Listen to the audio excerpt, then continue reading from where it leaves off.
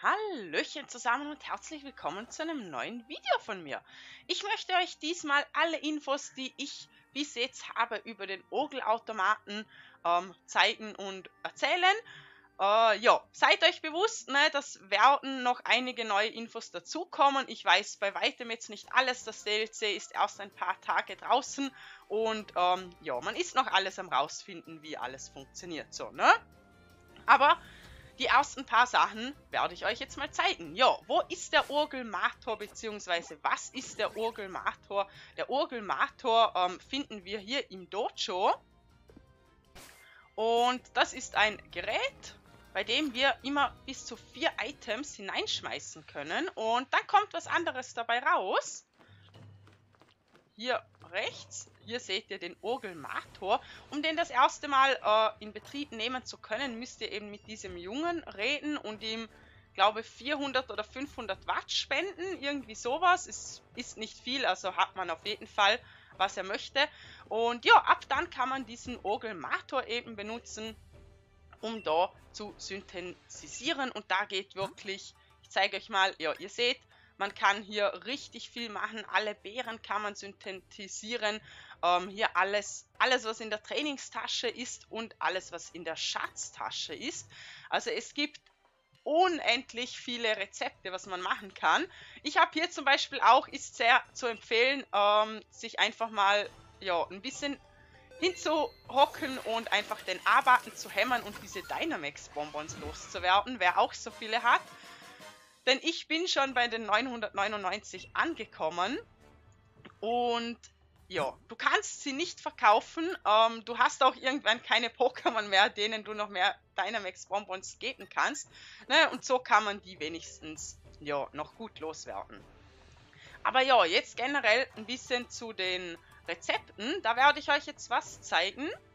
Und zwar switchen wir hier rüber auf die Internetseite PokeWiki und ihr seht hier oben, wenn ihr hier auch drauf wollt, ihr müsst einfach im Internet, äh, im Google eingeben Orgelmator und dann findet ihr das sofort. Ne? Und hier haben wir jetzt ein paar Rezepte, ähm, Aprikokos und Bälle, da komme ich später noch dazu, da ste steht auch noch nicht alles hier, es ist eben alles noch in der Aufbauphase. Ne? Selbst hier im PokeWiki, gerade mit den Aprikokos, steht einiges noch nicht. Ja, hier unten geht es dann los mit den ganzen Items, die ihr machen könnt. Hier seht ihr ähm, TPs, ganz, ganz viele TPs.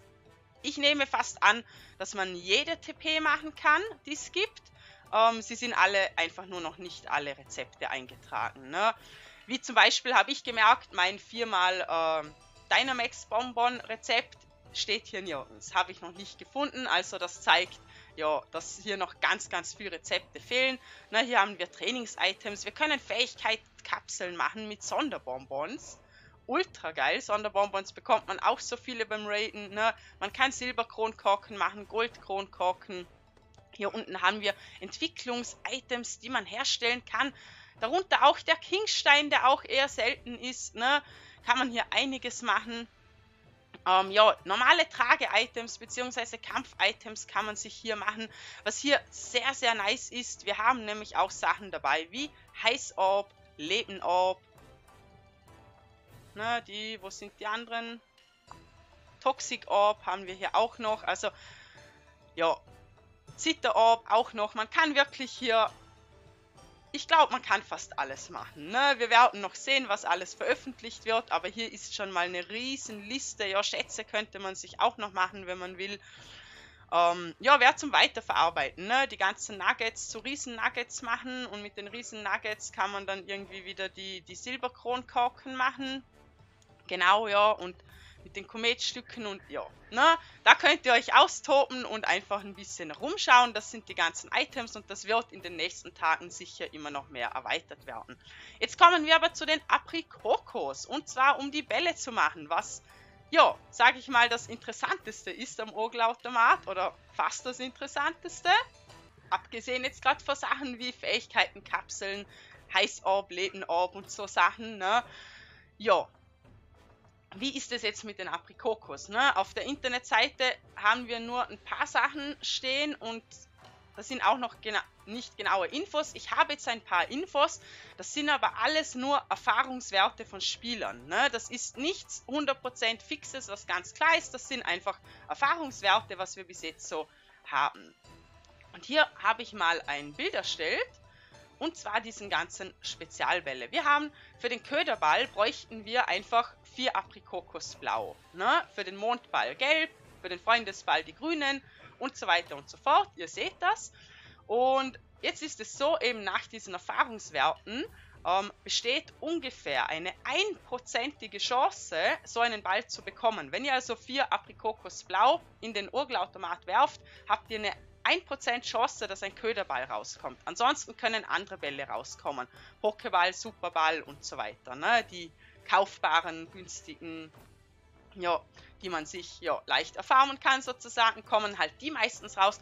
Und eine 1% Chance ist wirklich sehr, sehr gering. Ne? Aber die Möglichkeit besteht immerhin, die Bälle zu farmen. Und jetzt ist es so, ihr könnt auch kombinieren. Ihr könntet jetzt zum Beispiel auch zwei blaue und zwei gelbe in den Topf werfen. Wenn ihr das macht, dann habt ihr nachher einfach eine 0,5% Chance auf den Köderball und eine 0,5% Chance auf den Mondball.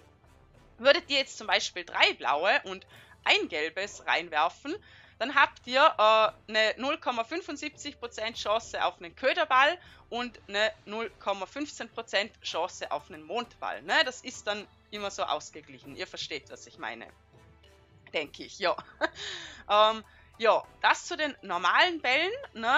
Und, na, jetzt wird es hier schon schwarz das zu den normalen Bällen und dann haben wir noch zwei neue Bälle mit im Game. Und zwar den Turnierball und den Safari-Ball. Diese können wir, wie es scheint, aber das sind auch wirklich, es wurden noch nicht viele Turnier- und Safari-Bälle gefunden, aber wie es scheint, ähm, können die bei jeder Konstellation kommen. Also bei, wenn ihr vier blaue macht, wenn ihr vier gelbe macht, wenn ihr vier grüne macht, dort können sie anscheinend immer kommen. Ob sie jetzt auch kommen, wenn ihr die Mix, das weiß ich leider nicht sicher. Ähm, aber ja, der Turnierball und der Safari-Ball haben dann in dem Fall immer eine 0,1% Chance. Also noch, noch viel geringer. Also jeder tausendste, jede tausendste äh, Synthesisierung, die ihr macht, könnte ein Turnierball oder ein Safari-Ball rauskommen. Ne? Es ist immer das könnte, es ist das gleiche wie bei der Shiny Chance. Ihr könnt im ersten Ei ein Shiny haben, ihr könnt halt nach 3000 Eiern erst euer Shiny haben. Ist immer ein bisschen eine Glückssache. Ja, ich hoffe, dass in PokeWiki da natürlich bald ganz klare und genaue Angaben kommen. Ähm, das sind jetzt halt mal so die Erfahrungswerte. Ja, damit ihr wisst, auf was ihr euch einlassen auf was ihr euch einlässt. Das Schade ist natürlich, ne, der Urgelautomat speichert immer. Was bedeutet, ihr könnt nicht cheaten sozusagen vom Urgelautomat speichern, äh, die Aprikokos reingeben und dann, ähm, ja, wenn es nichts geworden ist, nur ein Pokéball halt wieder das Spiel laden. Das funktioniert leider nicht. Aber dafür kann ich euch jetzt noch schnell einen kleinen Trick zeigen, wie ihr am schnellsten diese Aprikokos farmt. Ne, wir haben die ja in Beerenbäumen. Und ich zeige euch das jetzt kurz. Hier unten müsste gleich einer sein. Genau, und zwar wie ihr die richtig schüttelt. Ähm, als erstens, ich würde vor so einem Baum jetzt immer speichern. Ne? Immer bevor ihr den Baum schüttelt, speichert ihr das Spiel. Ich mache das jetzt nicht, weil ich jetzt in dem Moment bin für das Tutorial, wo ich halt nicht speichere. Ich lade nachher wieder meinen anderen Spielstand. Ne? Ähm, aber ihr würdet jetzt hier speichern und dann schüttelt ihr und wenn das mit dem Schütteln schlecht läuft und ihr bekommt nur ein Aprikoko raus oder gar keins, dann ladet ihr das Spiel schnell, dann könnt ihr den Baum nochmal schütteln und beim nächsten Mal bekommt ihr vielleicht schon 10 oder 15 Stück raus. Ne? Ähm, beim Schütteln also so, ne, ihr geht hin, ihr schüttelt und jetzt müsst ihr auf das Schütteln achten. Ihr seht jetzt, es schüttelt, dann haben wir eine kurze Pause und dann schüttelt es wieder. Wenn der Baum sich so bewegt, dann könnt ihr weiter schütteln und es wird nichts runterfallen. Also kein, kein Pokémon, ne? Wir schauen, wir haben immer noch den gleichen Abstand zwischen diesen zweimal Schütteln. Wir können weiterklicken. Jetzt, seht ihr, jetzt schüttelt der Baum schneller, ne? Jetzt haben wir kaum einen Abstand. Wir haben Schüttel, Schüttel, Schüttel, Schüttel, kaum einen Abstand. Und ab jetzt besteht die Gefahr, dass ein Pokémon runterfällt. Ihr könntet jetzt natürlich noch weiter probieren, es muss keins runterfallen, ihr könnt auf Risiko gehen, aber ab jetzt kann was runterfallen. Wenn ihr also kein Risiko eingehen wollt, dann hört ihr jetzt auf mit dem Schütteln. Na, was haben wir bekommen? Wir haben zwei Aprikokos blau, zwei gelb, drei Prisimbeere, eine Maron. Ja, da müsst ihr jetzt für euch entscheiden, ist euch dieser Loot jetzt genug? Ne, dann passt es, dann fahren wir zum nächsten Baum. Ist euch dieser Loot nicht genau, dann drückt ihr eben den Home-Button, schließt das Spiel und schüttelt den Baum nochmal. Ja, und dann fährt ihr halt auf der Insel rum, ne, so lang, bis ihr halt ähm, alle Bäume geschüttelt habt. Da hinten haben wir ein Nest, perfekt. Na, müssen wir von oben. Bis ihr alle Bäume geschüttelt habt. Wenn ihr alle Bäume geschüttelt habt, ähm, dann müsstet ihr ja eigentlich einen Tag warten bis wieder alle Beeren drauf sind. Oder eben ihr spult einen Tag nach vorne, entweder mit dem Rangkampf-Glitch, bedeutet einfach, ihr absolviert einen Rangkampf und danach geht ihr in die Einstellungen, einen Tag nach vorne, dann sind die Bäume wieder resettet. Oder ihr geht zu irgendeinem Nest, scheißegal was für eins, geht auf Mitspieler suchen, klickt den Home-Button, geht auf die Systemeinstellungen, Konsole, Datum und Uhrzeit geht einen Tag nach vorne, wieder ins Spiel rein, klickt dann hier auf Raid beenden. Mhm. Genau. Und jetzt sind diese ganzen Bärenbäume wieder resettet. Ich zeige es euch gerade beim einen noch schnell.